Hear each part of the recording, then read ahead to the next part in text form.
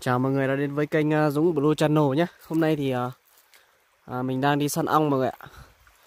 À, Ong khoái thì đến mùa rồi. Đang à, bắt đầu làm tổ đấy. Thì bây giờ là có một con nó xuống lấy nước ở đây này. Hôm nay à, nắng ra cho nên là ong nó bắt đầu xuống lấy nước nhá mọi người. Em phát hiện ra một con nó lấy nước ở đây rồi.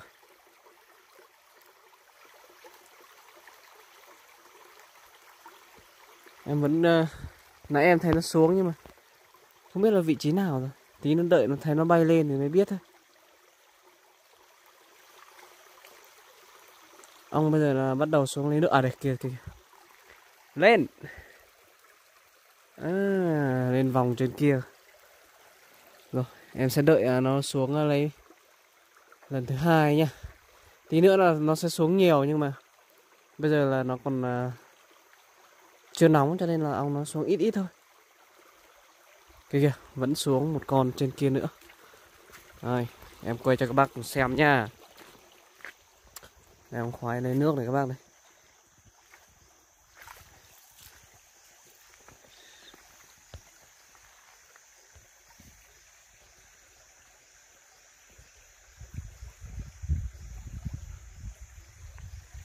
Mới nắng ra là ong xuống rồi chính thức bắt đầu à, vào vụ ong khoái rồi. Bây giờ em sẽ bắt đầu em tìm nhá. Em sẽ theo cái hướng của con ong nó lấy nước đi và em à, tìm đến tổ của tổ ong. Thì khu này thì nó cũng rừng khá là cao luôn.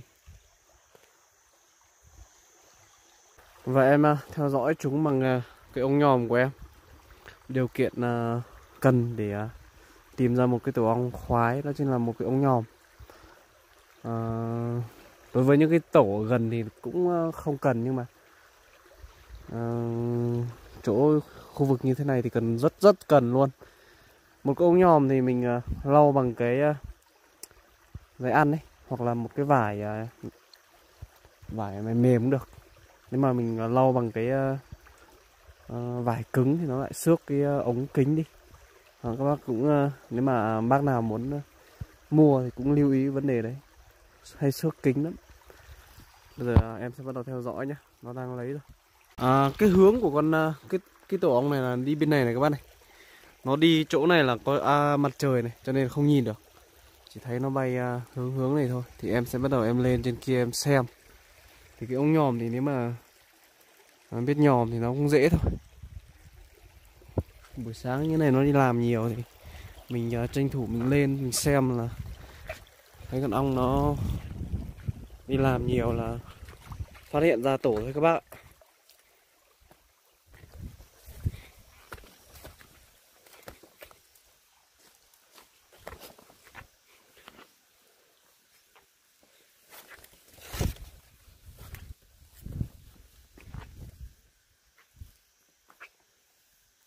Đây các bác, hiện tại em đang đến cái khu vực này.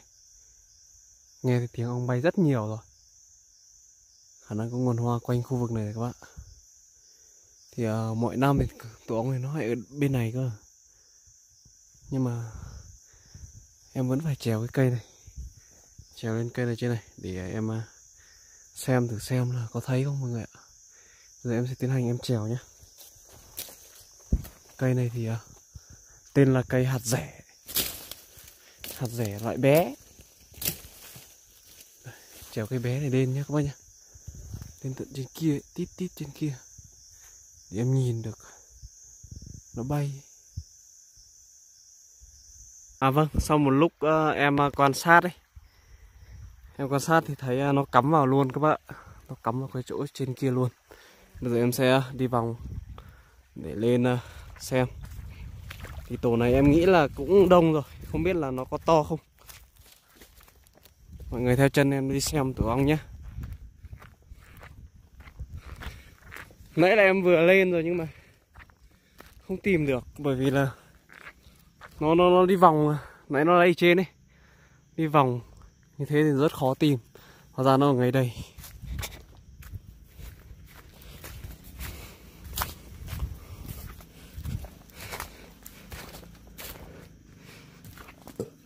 Ừ.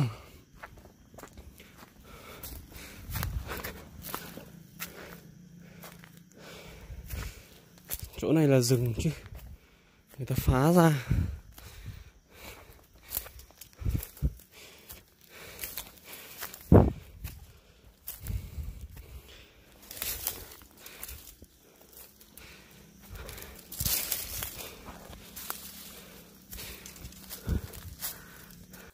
Chắc là khu này mọi người ạ.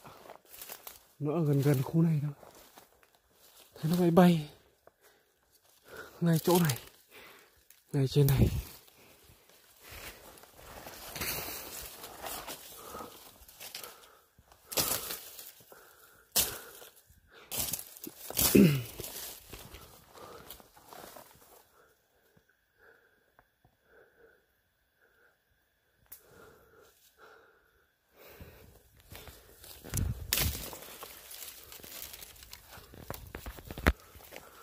Cũng mong là nó ở thấp thôi.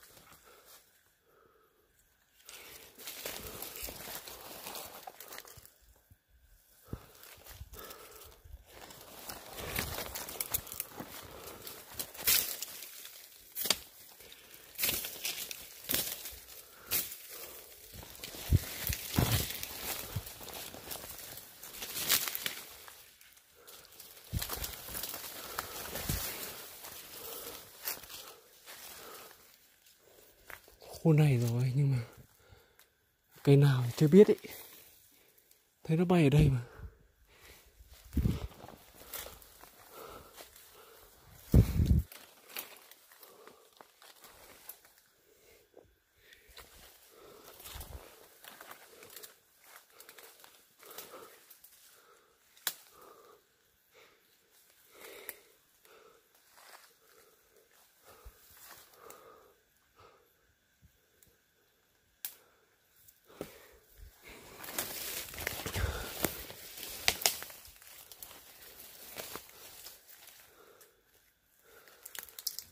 Chưa nhìn thấy.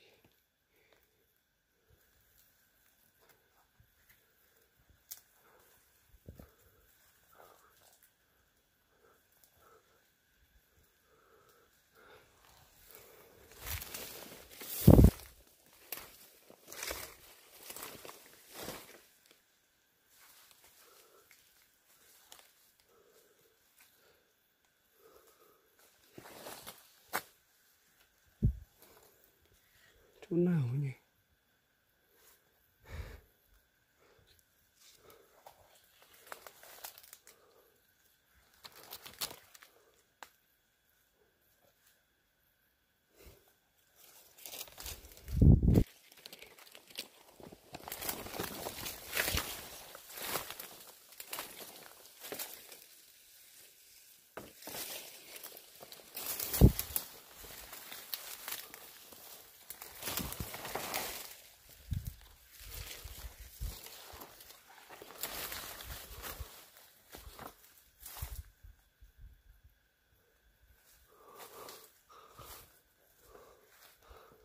Đúng ra là ở đùm này chứ.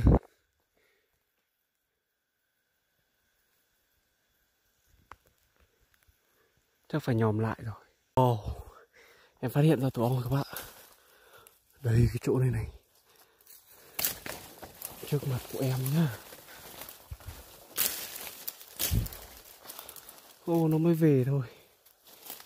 Không biết nó có làm tổ này mà nó làm cái to thế nhỉ